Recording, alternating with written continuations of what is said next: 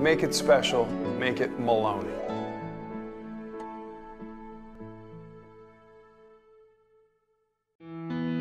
This segment of the Port Jeff Pulse is brought to you by Holistic Body for You, health coaching by Karen Sullivan.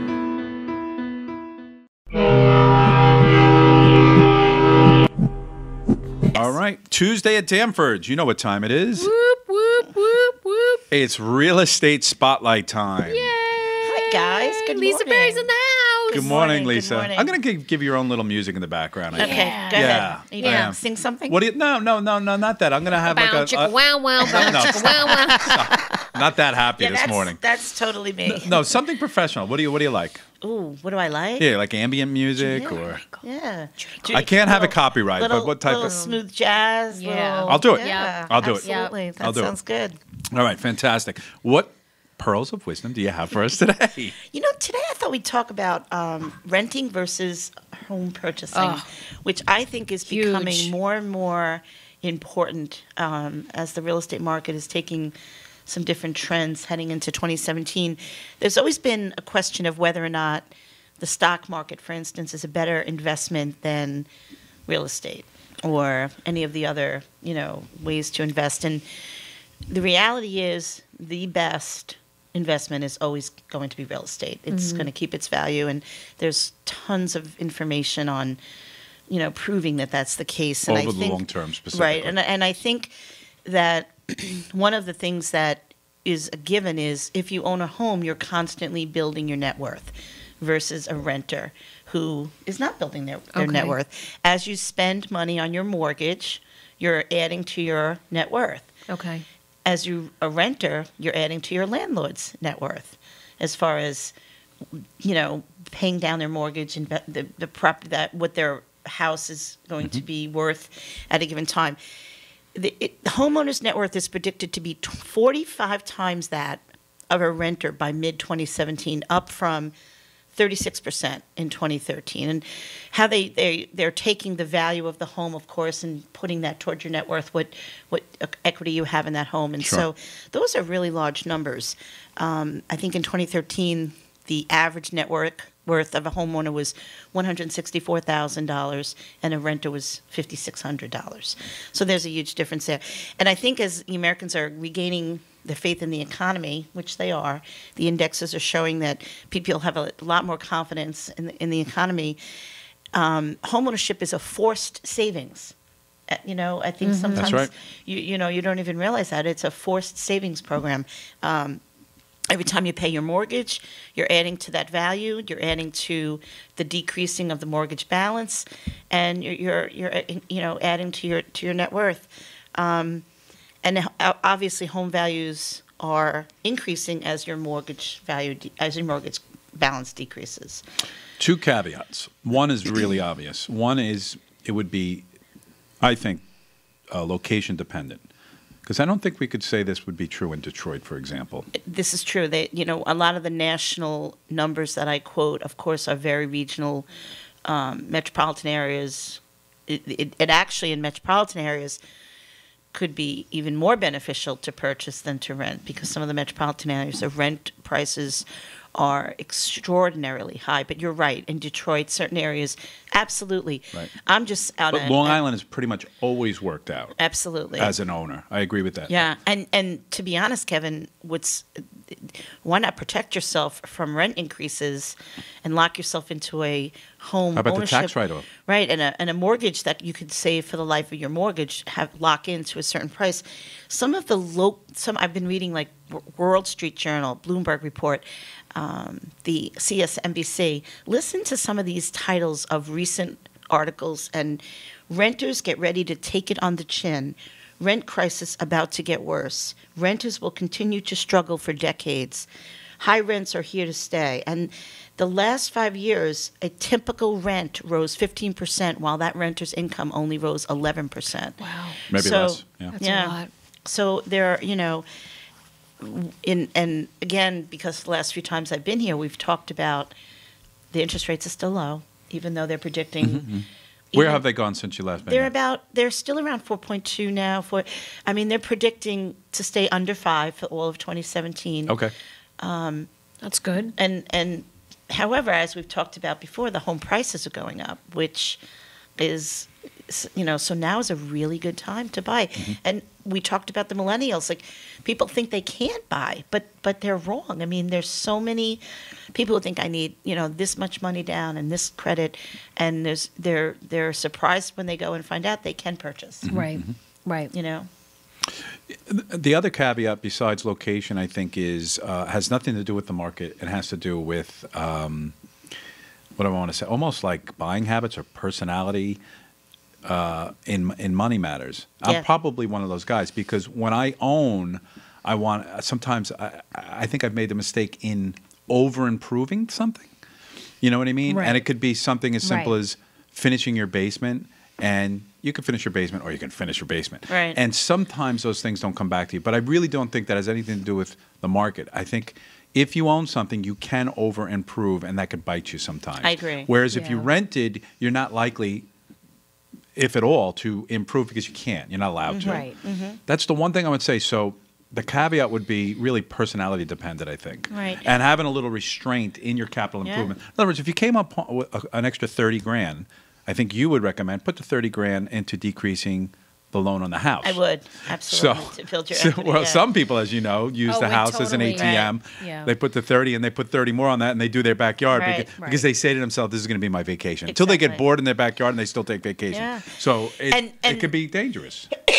one of the other interesting things which what's happening now is um, kind of ties into this uh, are upgrades. So I had an open house at my house on Parvis in Miller Place, which is about a six hundred thousand dollar house. It's three thousand square feet, almost an acre. Miller Place school districts, you know, big, beautiful, high ceilings. So a family came in that are living now in Sound Beach that are you know very happy. They have a nice three bedroom home. In talking, he said we're looking to upgrade, and people upgrade to either better size, looking for a better location or neighborhood um, more room. And he said, but we're thinking of renting the current house and not selling it if we can. And I said to him, that is a smart idea. Yeah. can, sure. Because of what we're Yeah. talking about. In fact, I'm meeting with them this afternoon at one o'clock because he wants me to tell him what I think his rent roll could be. And the house he's in happens to be a house that could be turned into easily into a mother daughter, which increases the rent roll because he can do two separate entities for rent. I mean, you right now in this area, one bedroom apartment, sixteen hundred dollars. No way. Yeah, I I'm, I didn't realize that. once you get to two or three bedroom homes, you're in the twenty five, twenty six hundred dollar. And if you're just he, you know, they told me they own that house outright, and he's only looking to cover his taxes. I mean, anything over That's a no-brainer. Yeah, it's a no brainer. Oh, to yeah, keep he it. definitely Yeah. needs to do that So, for sure. Where's that house? in Sound Beach. Okay. Yeah, and actually, um, you know, I'm going there today, so it'll be interesting for me to see.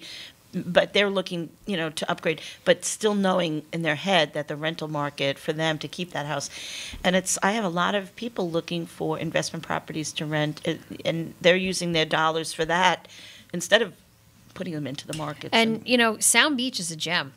a gem. There's a a lot of great properties in Sound. I, I mean, I own a rental property in Sound Beach, and my taxes are very low, and and it's a great it's a great place to I- invest. any new buyers. I have young buyers. I had I met with a new couple a referral yesterday in my office and they're looking for school district which you know I oh, can't really discuss school district Right. but I was telling them Sound Beach. I've just this past year you know I had a, a decent year as a buyer's agent mm-hmm. and I probably sold four or five houses in Sound Beach two three four of them under 300,000 that are mint Yep. really And both super nice and both school districts are Yeah. good Yes, because you're either Rocky in the Point Rocky Point or, Miller Place. yeah. So and, yeah. and especially the professors and the residents coming in from Yep. Stony Brook. I got a phone Mm. call yesterday. Somebody was asking me about one of my rentals, and I said to her, "If you know the area, you really should think about purchasing as opposed to renting because you'll pay more."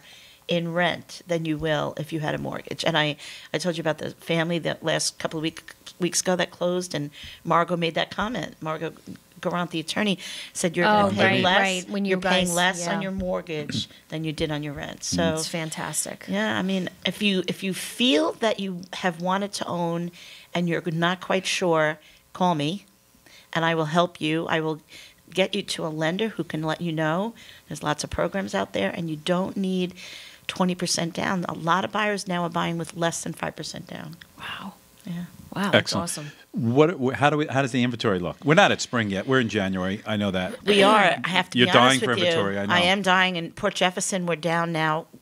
We were at 60 units oh, like a month ago. Last we checked, it was 45. 45 We're probably what at 50 or something like that. 37. No way. Yep. I went online today.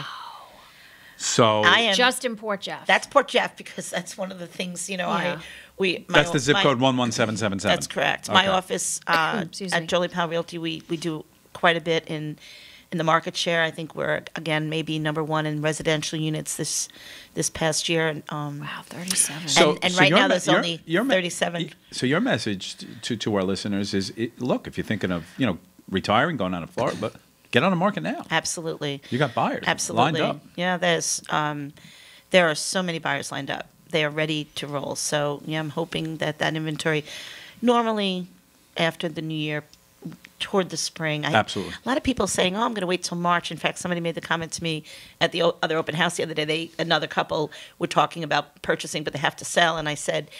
"Wha- We're going to wait for the spring, they said. And I looked at her and I said, Let me just ask you this. They're working mm. with another agent, but I was just trying to be helpful. I said, You're going to wait till everybody else is putting their house on the market. All you So needed have to say- all this other it competition. now. All you needed to say was, "Would you do me a favor? Go to the Port Jeff Pulse webpage and look at my episode number 17 talk because we did address We that. did exactly. Yeah, exactly. I should be able now. to do that. now. Honestly. yeah, Yeah, But but I said I said you're whoever's telling you that is giving you bad information, unfortunately, because you really don't want to be out there when. 60 Yeah, other when the homes come pack- up. when the pack is out there. Yeah. Uh, you know Yeah. so right now it's it's a great time to put your house on the market to buy a house So let's let's uh, also, as we always do, let's uh, let's um, get some listings up on the screen in back Yep, of us. I have two listings from our office. Yep. I think a great house, beautiful. Pilgrim Drive in Port Jefferson. It's uh, priced at five fifty nine. The taxes are under ten thousand, including the village taxes. Again, that's why Port Jeff is such a gem. It's a beautiful house, four bedrooms, and then we have a house on Waterview Drive, which I'd mentioned before. Um, gorgeous, and that is uh, 22 Waterview Drive, and the list price there is 9.59, but it's gorgeous. I mean, it's it's up in Harbor Hills, and it's it's you know it's it's beautiful. It's got water view, and so and and of course two. Parvis as well. The Parvis. So my Parvis it, it could is- it could be coming to a sale soon. Yeah, it's Miller Place. I'm well. I'm hoping it was a decent open house, and uh, Mm-hmm. and I'm heading out to my my listing in uh, Cutchogue East, yep. this weekend. Uh, that was a little slow during the winter time, but you know people are starting now to think about their summers, and and the house is is you know a beautiful house. So, yeah. Check out my website, perryproperties.org, and you can see what else is going on. Absolutely. Thank you, Lisa. Thank you for checking in with Thank us. you. Port Thanks so much. Look forward to next time. Thank Bye. you. Thanks.